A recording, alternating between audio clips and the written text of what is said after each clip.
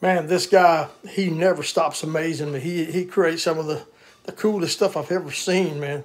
Make sure you click the link